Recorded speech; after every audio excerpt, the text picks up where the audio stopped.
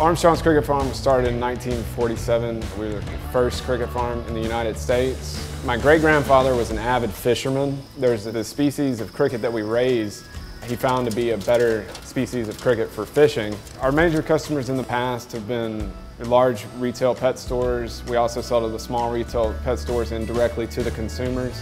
More recently, we've been selling frozen crickets to be processed into a powder for human consumption. Whenever my great-grandfather started, it was all word of mouth. From there, it's moved forward. It was telephones in the 70s and 80s.